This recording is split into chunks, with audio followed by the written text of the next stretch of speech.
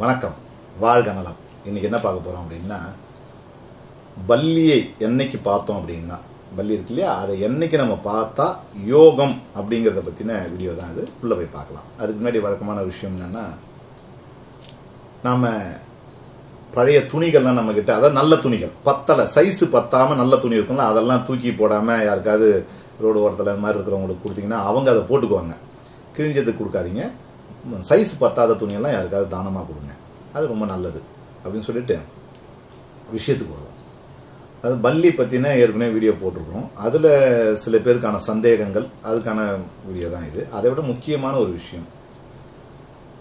எத்தனையோ பூச்சி வகைகள் இருந்தாலும் பல்லிக்கு ஏன் ஒரு முக்கியத்துவம் கொடுத்தோம்? பல்லி சாஸ்திரம்னே ஒரு சாஸ்திரம் இருக்குன்னா பாருங்கள் சாஸ்திரங்களில் பல்லி சாஸ்திரம்னு ஒரு சாஸ்திரம்.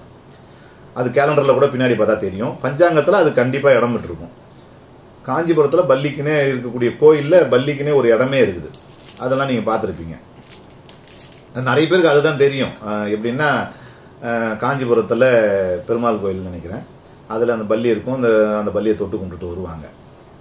பல்லி வந்து சா நமக்கு வந்து சாஸ்திரம் பள்ளி பல்லி மேலே விழுந்தால் என்ன பலன்றதெல்லாம் இருக்குது பல்லி சப்தம் கொடுத்தால் அந்த சிக்னல் அது கொடுத்தா அது அது எப்படி இருக்குது? அப்படிங்கிறதும் இருக்குது. இத்தனை வகைகள் இருக்குது இல்லையா? பல்லியை பார்த்தால் பலன்னு ஒன்று இருக்குது. அதை கண்ணால் பார்க்கறது. பொதுவாகவே பல்லியில் பல ரகங்கள் இருக்குது. நிறைய ரகமான பல்லிகள்லாம் இருக்குது. வீட்டில் வளரக்கூடிய பல்லிகள் இருக்குது ஆலயங்களில் இருக்கும். அப்புறம் வந்து மர சம்மந்தப்பட்டங்களில் இருக்கும். காடுகளில் இருக்கக்கூடியது குகையில் வாழக்கூடிய பல ரகங்கள் பள்ளி வகைகள் இருக்குது அதெல்லாம் நம்ம வீட்டில் வளர்கிறது தான் இந்த மாதிரி சிக்னலுக்கெல்லாம் உகந்தது. பார்க்கறதுங்கிறது விசேஷம். சரி அது எப்படி பார்க்கறதுல என்ன அது விசேஷம் இருக்கா? சத்தம் தான் அது கொடுக்குற சத்தம் தானே நமக்கு ஒரு சகுனம்னு சொல்லுவோம். பார்க்கறது அப்படின்னா நீங்கள் வந்து தஞ்சாவூர் போயிருந்தீங்க அப்படின்னா தஞ்சாவூர் பெரிய கோயில் இருக்கு இல்லையா? சிவபெருமானுடைய கோயில். அந்த கோயிலுக்கு போனால் கோயிலுடைய சரிய பின் சைடில் ஒரு மரம் இருக்கும். அந்த மரத்தில் மரப்பள்ளின்னு ஒன்று இருக்கும். அது வந்து கண்ணிலே படாது. ஆனால் கண்ணில் பார்த்தவங்க நம்புவோம். நானே வந்து ஒரு ஒரு ஏழு எட்டு வாட்டி அதை பார்த்து வேற வேற தடவை போகும்போது நான் அந்த பக்கம் போகும்போது கோயிலுக்கு போவோம் இல்லையா தரிசனத்துக்காக சிவபெருமான் தரிசனத்துக்கு. அப்படி பார்க்கும்போது எனக்கு ரெண்டு முறை தான் நான் வந்து அந்த பள்ளியை பார்க்க முடிஞ்சது. மீதி நேரம்லாம் அது கண்ணில் பட மாட்டேது ஆனால் பக்கத்தில் இருக்கவங்க கண்ணில் படுதுன்றாங்க. நம்ம கண்ணுக்கு பட மாட்டேங்குது. நம்ம கண்ணில் படும்போது தெரியுது. அப்புறம் நம்ம யார்கிட்ட சொன்னது பாருங்க இந்த கலையிலேருந்து இந்த பக்கம் பாருங்க கீழே இறக்கி பாருங்கன்னா அவங்களுக்கு படலை. அது மாதிரி அந்த பள்ளியை பார்த்தால் சிறப்புன்னு சொல்கிறாங்க அந்த ஒரு மக்கள். அது ஒரு வகையான சம்பிரதாயம். அது அவ கண்ணில் பட்டுதுன்னா பெரிய விஷயமா.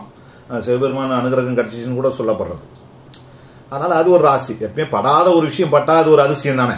அது மாதிரி பல்லியை பார்க்கறதுனால வரக்கூடிய யோகம் இருக்குது எப்படின்னா ரெண்டு நாள் வந்து கணக்கு இருக்குது இதில்.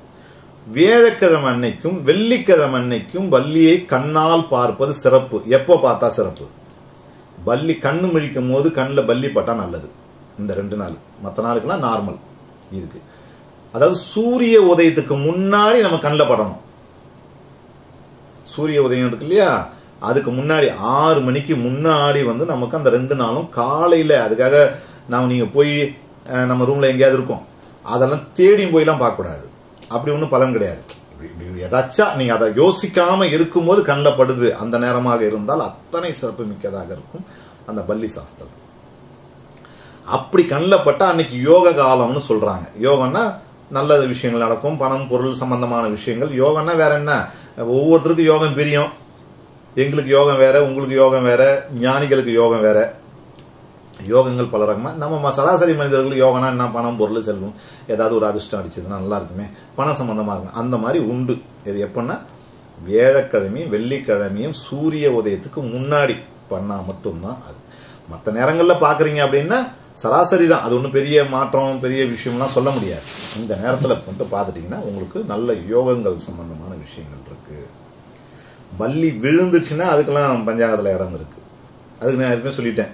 பள்ளி விழுந்துட்டா ச தலையில் விழுந்தா காலில் விழுந்தா உதட்டில் விழுந்தா மார்பகத்தில் விழுந்தா இப்படி இருக்குது முதுகு பக்கத்தில் விழுந்தா இப்படி ஒன்று ஒன்றுத்துவோம் அதெல்லாம் வந்து நீங்கள் சாஸ்திரம் பார்த்து கஷ்டப்படாதீங்க. கொஞ்சம் உப்பையும் மஞ்சத்தூளையும் கொஞ்சம் தண்ணியில் கரைச்சி தெளிச்சிங்க. பல்லி தோஷம் போயிடும். அது ஏதோ ஒரு சிக்னல் அது விழுந்தால் ஒரு சிக்னல்னு அர்த்தம். அந்த சிக்னல் நல்லதோ கெட்டதோ நமக்கு வேண்டாம். அப்படின்னா நீங்கள் இதை ப தண்ணியை உடனே தெளிச்சு விட்டுடுங்க.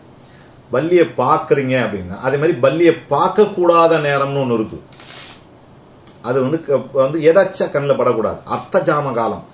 நைட்டு பன்னெண்டு மணி பன்னெண்டரை மணி அது அர்த்த ஜாம காலம். நம்ம ஏன் அந்த நேரத்தில் முடிச்சுட்டு இருக்க போகிறோம்னு நினைக்கிறோம் இல்லையா? அது தூங்கி தான் இருப்போம். முன்ன இப்போ அப்படி கிடையாது. நம்ம செல்ஃபோன் நோண்ட ஆரம்பிச்சதுனால என்ன பண்ணணும் எல்லாருக்கும் படுக்க ரெண்டு மணி மூணு மணி ஆகி போகுது நம்ம படுக்கிறதுக்கு. அப்போ வந்து நம்ம வந்து எதாச்சா பார்க்கக்கூடாத காலம்ங்கிறது அதுதான்.